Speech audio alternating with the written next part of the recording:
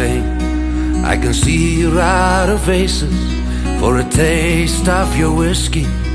I'll give you some advice. So I hammered in my bottle, and he drank down my life.